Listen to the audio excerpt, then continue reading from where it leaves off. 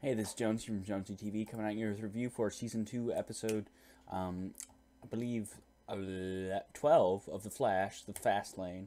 Uh, basically, in this episode, we uh, come across a new villain named Tar, uh, Tar Pit, and basically he's a a character who falls into a tar pit, and then when the particle accelerator explodes, he turns into tar. And the people who threw him in the pit to kill him, he gets revenge on them, of course, and then goes after the Flash. Basically, the premise of this episode is he goes to fight Tar Pit and Tar Pit ends up uh, showing up at the uh, rally where Wally is street racing to make money for his mom, and uh, basically Barry has to save him from this villain, and so we connect the Wally West storyline with the Flash storyline, which is pretty cool.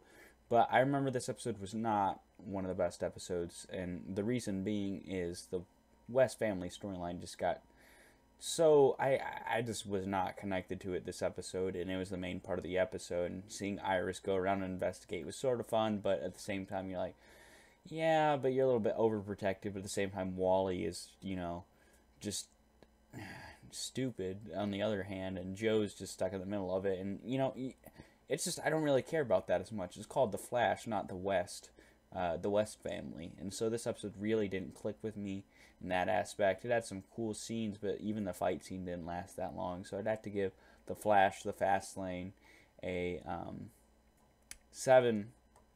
I'd or nah, seven point two because um, the cool part is Wells finally admits that he was part of the whole entire um, he had been sapping Barry's speed, and there's some cool wells. Uh, um, very dynamic, and any scene with Tom Cavanagh is fantastic. Of course, I've praised him in previous reviews, but um, I guess he would be the mm of this episode because the rest of this episode did, really didn't click with me. So I would give it a 7.2 out of 10.